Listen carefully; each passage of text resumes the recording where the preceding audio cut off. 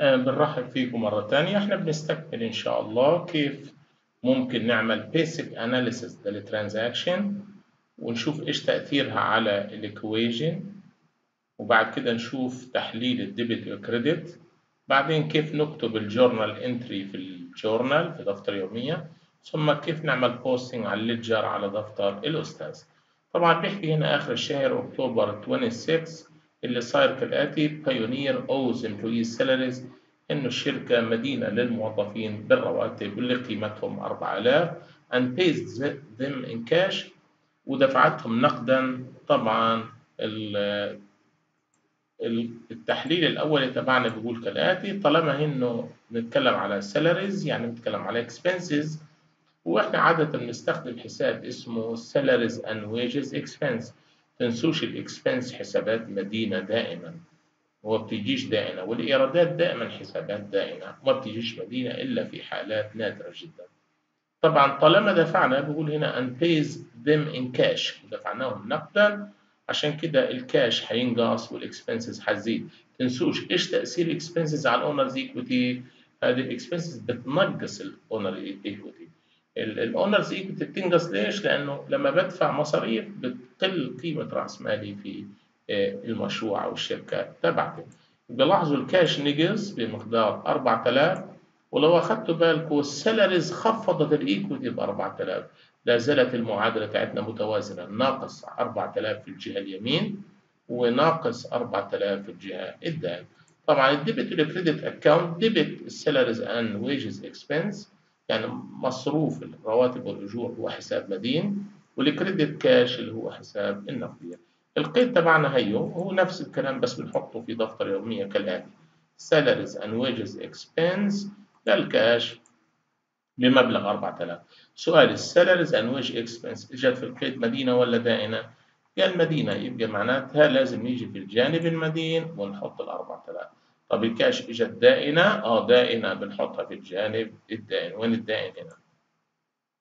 هذا دير بالكم debit ال left side debit وال right side هو ال credit نشوف هنا. Pioneer receives 10,000 in cash from Copa company for advertising services performed. خدوا بالكم هناك لما أخد لما إحنا أخذنا فلوس مقدما سميناها unearned service revenue. يعني إيرادات خدمات غير محققة. وقلنا ليش مقاحة غير محققة قال لأنه هي إحنا لسه بدنا نقدمها آخر السنة يعني ما لسه ما قدمناش الخدمات. بس هنا استلمنا فلوس عن خدمات أديت فعلا.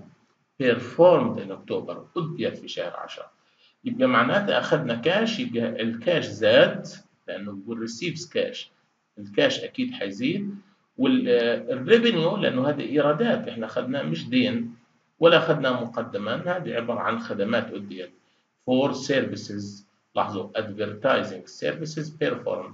يعني خدمات إعلانات أديت في شهر أكتوبر performed in أكتوبر فعشان كده لو اخذتوا بالكم الكاش بده يزيد بمبلغ 10000 وال revenue account اسمه service revenue برضه بده يزيد. تنسوش ال service revenue بيزود ال equity أما ال expenses بتنقص ال equity زي ما تو شفنا في المثال تبعنا اللي فات. يبقى هنا الكاش هيزيد بكم؟ هيزيد بقيمة المبلغ اللي قبضناه اللي هو 10000 والإيرادات هتزيد آه بس الزيادة هذه هتزود ال owner's لأنه إيرادات مع owner's بتزيد ال owner's لكن مصاريف مع owner's بتنقص ال owner's.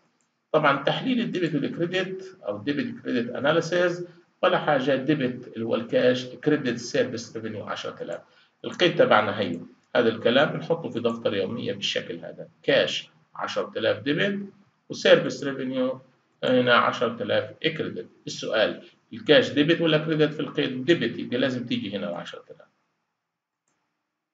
طيب وال service revenue ال service revenue إجت credit يبقى لازم تيجي في جانب credit هنا.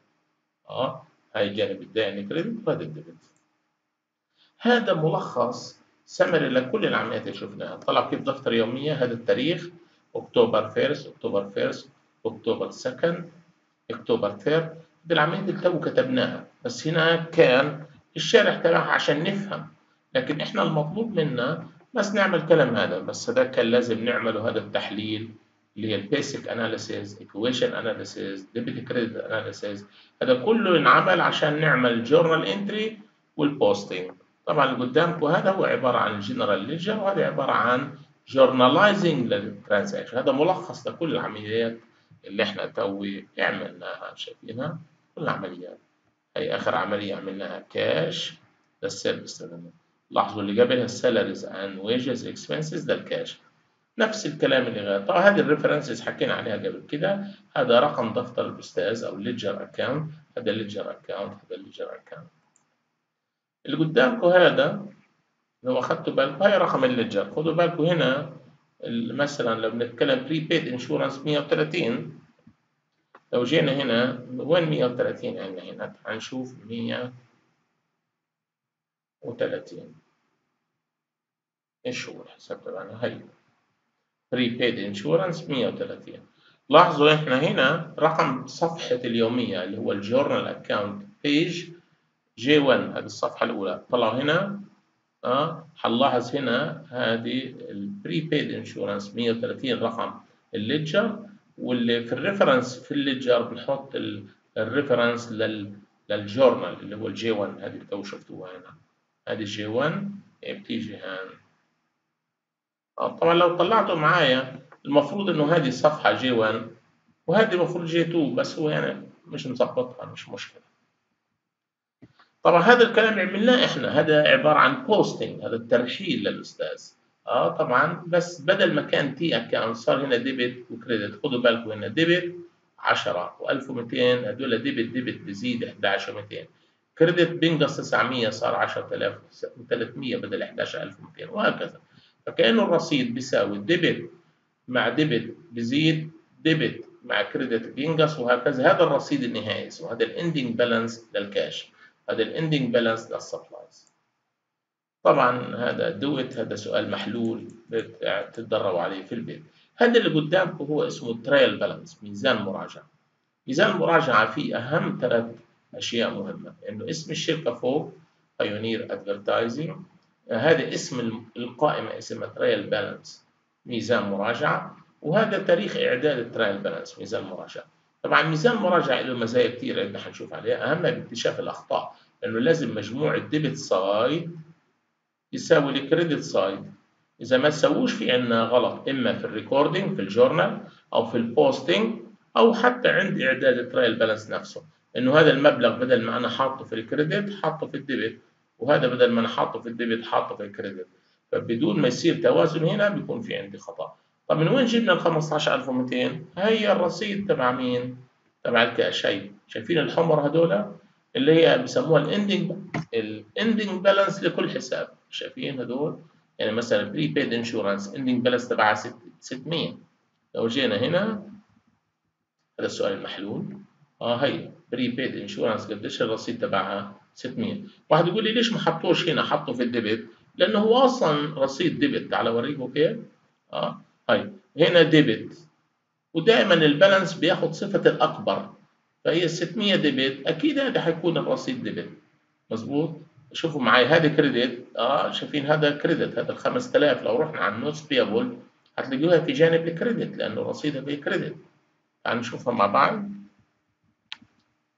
هاي وين ال payables accounts payable في ال credit هاي شايفينها هي credit هنا بيحكي limitation of a trial balance يعني محدودية استخدام ميزان المراجعة. آه إنه إنه يعني ترايل بالانس may be balance even بقول ميزان مراجعة ممكن يتوازن بالرغم من وجود الخمس أشياء. يعني قصدك تقول إنه ممكن يتوازن وفي عندنا أخطاء؟ آه صحيح. تعال نشوف أول أول سبب إنه ممكن يتوازن ويكون عندنا خطأ. ال transaction is not journalized تخيلوا معايا في واحدة من العمليات ما كتبناهاش. هدول اللي كتب فاكرينهم هدول؟ أي واحدة شيلها من هدول؟ شيل مثلا ال supplies ولا كانس لو شلناها يضل الميزان متوازن برضه لأنه إحنا رفعنا من ال debit 2500 ومن ال credit 2500 لا زال ميزان مراجعة متوازن. قصده يقول هان إيش؟ قصده يقول إنه ال transaction is not journalized إذا في عملية ما نعملهاش إثبات في اليومية ممكن ميزان يتوازن. ال correct journal entry is not posted طب تخيل إنه إحنا كتبناها يوميه بس ما رحلناهاش على الأستاذ. برضه كان حيتوازن. ليش؟ لأنه العملية كلها ما تسجلتش أكنها مش موجودة. وبالتالي إذا سجلت إذا ما سجلتش بتوازن. طب إذا سجلت يوميه بس ما ترحلش على الأستاذ. واحد يقول لي طب إيش علاقة الاستاذ الأستاذ لأنه هو بياخذ من اليوميه الأرصدة. فإذا ما فيش شيء اجى باليوميه برضه حيضل متوازن بالأرصدة الموجودة عنده بخلاف العملية هذه. ال journal entry is posted twice وهذا اللي بصير إنه مرات العملية تتسجل في اليومية ولما تترحل برحلها المحاسب بالغلط مرتين. فهي أصلا عملية متوازنة؟ لما ترحل 100 مرة برضه حيضل الميزان متوازن. يبقى لاحظوا هذه كلها أخطاء ما بيكتشفها ميزان مراجعة. Incorrect accounts are used in journalizing or posting. إيش يعني incorrect account في حساب اسمه equipment وفي حساب اسمه supplies. في مبلغ بدل ما نروح له الايكويبمنت رحلناه لل supplies برضه الميزان بتوازن لأنه لا زال الترحيل لنفس الجانب لل assets وبالتالي ما تغيرش عندي التوازن. فبس بدل ما يروح لل equipment راح للسبلايز فهي هي يعني بس لا زال لأنه الميزان ما بيفهمش هو بيفهم أرقام ما بيفهم حساب الايكويبمنت وحساب السبلايز والاكونتس بيبل والاكونتس ريسيفبل والكاش والأشياء هذه. Offsetting errors are made in recording the amount of a transaction. إيش يعني offsetting errors؟ بنسميها الأخطاء المتكافئة. إيش يعني أخطاء متكافئة؟ تخيلوا عملية سجلناها بزيادة بدل ما هي 1000 عملناها 1100. العملية اللي بعدها سجلناها بدل ما هي 1000 سجلناها ب 900. فلاحظوا الأولانية غلط سجلناها ب 1100 مع انها هي 1000 والثانية غلط سجلناها ب 900 مع انها هي 1000 فلاحظوا الزيادة في القيد الأول غطاها النقص في القيد الثاني هذه اسمها offsetting errors الأخطاء المتكافئة. يعني غلط بياكل غلط. برضه ميزان المراجعة هيتوازن وبالتالي مش هيظهر عندي مشكلات. ال trial balance يعني هو ممكن يساعدنا to locate errors إيش ال locate errors يعني عشان يعرفني أو يحدد لي مكان الأخطاء. طيب إيش هي الأخطاء اللي ممكن يعرفنا عليها؟ إحنا تو قلنا هذول الخمس أخطاء ما بيعرفهمش بيشوفهمش لكن هذا اللي هتكلم عليهم بشوفهم. بقول errors in trial balance general result from يعني الأخطاء اللي في ميزان المراجعه تنشأ من الآتي. واحد mathematical mistakes. أخطاء حسابية. يعني في الجمع في التضريب بدل ما يكتب 200 كتب 2000 بدل ما 2540 كتب 2450 هذه اسم أخطاء اخطاء رياضيه أو حسابيه الخطأ النوع الثاني من الأخطاء اللي بيساعدنا الميزان اللي نعرفها incorrect posting. إذا رحلنا جانب ما رحلناش الجانب الثاني. أو رحلنا جانب ب 2450 والجانب الثاني رحلناه 2540 أكيد ساعتها الميزان مش هيتوازن or simply transcribing data is أو or simply transcribing data incorrectly. أو يعني مجرد وصف العملية كان وصف خاطئ، إيش يعني خاطئ؟ يعني إحنا كنا بنفكر إنه عندنا 200 وحدة في 10 آه؟ فكنا بنفكر عملية بيع هي عملية شراء طلعت آه وبالتالي أثبتنا عملية بيع بس هو المفروض نثبتها كعملية شراء. هذه transcribing يعني وصف. طبعا or simply transcribing data يعني مجرد انه إحنا نوصف البيانات بصورة خاطئه، كيف نوصفها؟ إنه بدل ما نتعامل معاها بعملية بيع نتعامل معاها بعملية شراء مثلا. تعالوا نشوف بعض المعلومات اللي لها علاقة بال disclosure اللي هو الإفصاح. أهمها استخدامات ال dollar signs استخدامات علامة الدولار. طبعا علامة الدولار بقول do not appear in journals or ledger علامات الدولار ما بتظهر لا في اليومية ولا في الأستاذ. بالتالي ما ينفعش استخدمهم في المكانين هذول. نمرة اثنين typically used only in trial balance and financial statements هذه علامة الدولار أو علامات الدولار بستخدمها بصورة يعني مثالية في ميزان مراجعة في ال financial statements. تعال نرجع مع بعض لميزان مراجعة عشان نشوفها. شوفوا وين؟ شوفوا وين؟ أول رقم حاطين عليه الدولار علامة الدولار بس الباقيين عليهم دولارات؟ لا طالما أول رقم في العمود الثاني عليه علامة دولار بس المجاميع كمان عليهم علامات دولار. يبقى في ميزان المراجعه وفي القوائم المالية اللي بيحكي عليها. أول أرقام فوق عليها علامات دولار وآخر أرقام بيكون لكن ما بينهم ما فيش علامات دولار. لاحظوا هذه ما بينهم ما فيش علامات دولار. هذا اللي بيحكي عليه. عادة used only in trial balance and financial statement. shown only for the first item عمال بحكي عليها. في أول بند بيبقى ظاهر in column and for the total of the column والمجموع زي ما توريت لكم إياه.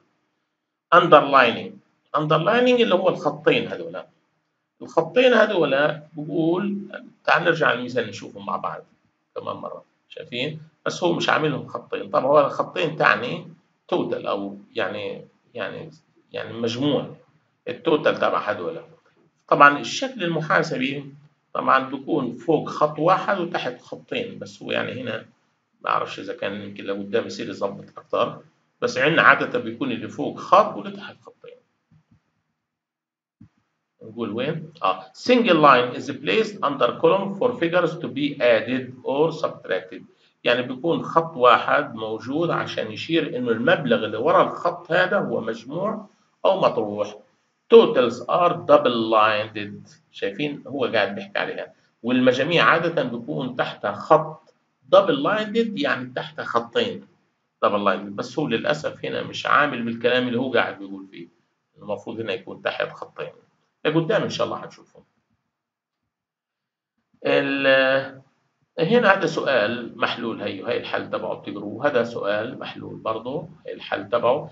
بتمنى عليكم تحاولوا في البيت تحلوهم بدون ما تطلعوا على الحل. يعني أول حاول حل السؤال لحالك وقرر على الحل هذا. عشان تتدرب على الحلول لأنه ممكن سؤال زي هذا يجي في الامتحان.